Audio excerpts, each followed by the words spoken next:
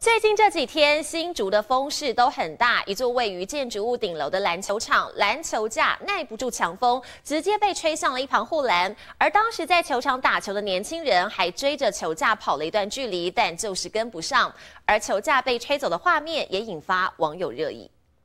两名年轻人来到球场想要打球，只不过篮球架居然像脱缰野马，不断往旁边冲。年轻人在后头狂追，但是就是跟不上球架速度。我觉得有点危险呢，他会不会倒下来？